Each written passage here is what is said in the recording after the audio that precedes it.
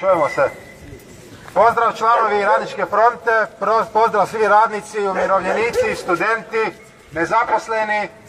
Okupili smo se ovdje sa pitanjem da li želimo zdravlje i život samo za bogatu manjinu, a siromaštvo, bolest i smrt za većinu našeg naroda, naših radnika, umirovljenika, studenata i svih podlačenih skupina. Problem imunološkog zavoda je problem svih nas koji živimo u ovoj zemlji. Pravo na život i zdravlje ima svaki čovjek, svaki dakle radnik, svaki umirovljenik, svaki student, nezaposlen. Dakle, hvala. E, zdravlje i život nisu tek roba koja se kupuje i prodaje, a privatizacija imunološkog zavoda, život i zdravlje, koje su temeljne vrijednosti svodi upravo na to, na robu za prodaju, na robu s koje se izlači profit, a profit ne može biti ispred zdravlja ljudi. A dobri ljudi iz naše zemlje koji već godinama dobrovoljno daruju krv da bi spasili nečiji život, privatizacijom imunološkog zavoda bivaju prevareni i obmanuti na posebno okrutan način. Njihova krv prerađena u plazmu, u gladi za profitom, bit će skupo prodana na stranom tržištu, da bi netko dobro zaradio i ostvario veliku dobit. Strano tržište oskudijeva kvalitetnim krvnim pripravcima, jer malo zemalja na svijetu ima sustav dobrovoljnog davanja krvi s tolikim odazivom. A Hrvatska ima upravo to. Hrvatska ima sustav dobrovoljnog davanja krvi sa velikim odazivom već desetljećima, koji je nastao i zadržao se do danas kao jedna od humanih tekovina bivšeg sustava.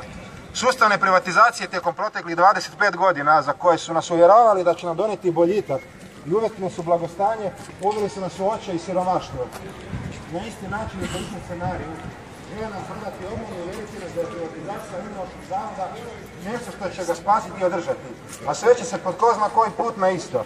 Profit i bogatstvo u manjini, a u ovom slučaju osim siromaštva i očaja i bolesti i smrt većini. Sjetimo se plive, ponosa naše farmaceutske industrije i super uspješnog antibiotika Sumameda. I za plivu su nas uvjeravali da će njena prodaja privatizacija biti korisna za nas. Sada se, sada se postavlja pitanje, imamo li zbog toga jeftinije i dostupnije lijekove?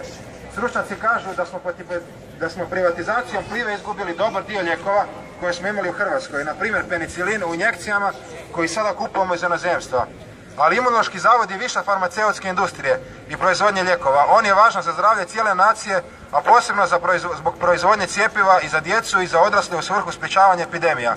Zadržavanje proizvodnje tako važnih pripravaka treba zadržati u državnom vlasništvu, jer se privatnik nikad neće rukovoditi kvalitetom i dostupnosti krvnih pripravaka i cijepiva širem sloju. Širem sloju ljudi u našoj zemlji, već maksimizacijom, maksimizacijom profita, da bi se moglo dogoditi da uvozi jeftina uvozna cijepiva i krvne pripravke da zaradi što više, a da naše zdravlje bude sve lošije.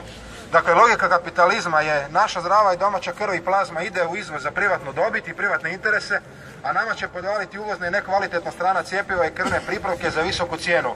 Cijenu našeg zdravlja i sve tanjih džepova. Do sada je imunološki zavod u rukama državnog sektora bio siguran, jer čuva smrtonosno sojeve bakterija i virusa. Ne dozvolimo da se, da se desi da nemarom neznanjem ili mogućom zloporabom privatnika koji može raditi sa sojevima što, što hoće i kako hoće bez kontrole, rukovodeći se logikom kapitalizma, dakle logikom profita, a ne zdravljem svih nas, smrtonosni sojevi završe izvan laboratorija. Imunološki mora ostati u državnom vlasništvu. Struka je rekla imunološki može sam opstati, ne trebamo privatizacija. Radnici, ne dajmo se prevariti, zdravlje nas i naše djece u pitanju. Sto privatizacijama po recepturi kapitalizma, koja je kultura smrti. INA, Gredelj, Kamensko, Jadran Kamen, HT, Croacija osiguranje, Dioki, državni dužnosnici kažu da država nema novaca za spasiti imunološki zavod i zadržati ga u državnom vlasništvu. To je jedna obična laž. Za vojne takozvane mirovne misije na Bliskom istoku i koje kuda da se dodvore međunarodnoj eliti iz proračuna u 2015. planiraju izdvojiti preko 114 milijuna kuna. Isto tako, elite imaju novaca, i to naših novaca, za krug ljudi, te im daju novčane poticaje bez kojih bi isti propali. Vladajuća elita ima novaca za poticaje Agrokoru Ivice Todorića, čovjeka koji je među najbogatijim ljudima u državi. Ukupne potpore Agrokorovim tvrtkama iznosile su oko 120 milijuna kuna. Logika vladajućih koji pogoduju krupnom kapitalu je treba spasiti propasti tajkune i njihove kompanije, a ne zdravlje nacije. Za spas imunološkog potrebno je 100 milijuna kuna.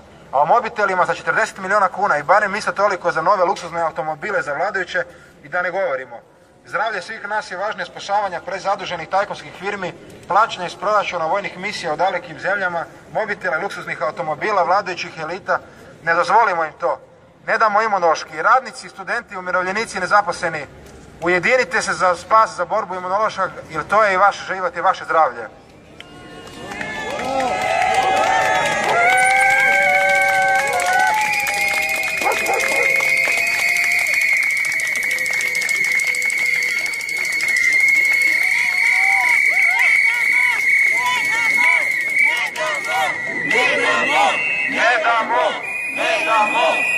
နေတာဟုတ်နေတာဟုတ်နေတာဟုတ်